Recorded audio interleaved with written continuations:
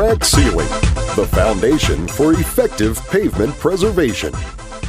All new pavements over time deteriorate. If not properly treated, these new pavements will eventually fail. Pavement beyond maintenance will need complete reconstruction, a major budget killer. Transverse, longitudinal, block, alligator, shoulder joint cracks are common in aging asphalt surfaces.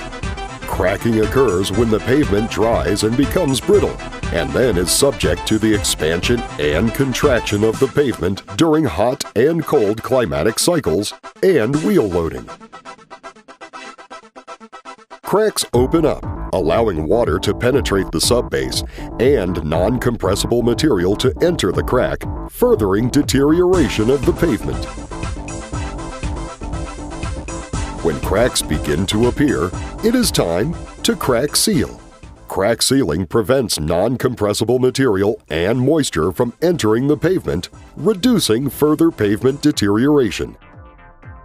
Crack sealing, in conjunction with various other pavement treatments such as asphalt rejuvenators, overlays, chip seals, or micro seals, can prolong the service life of the pavement indefinitely.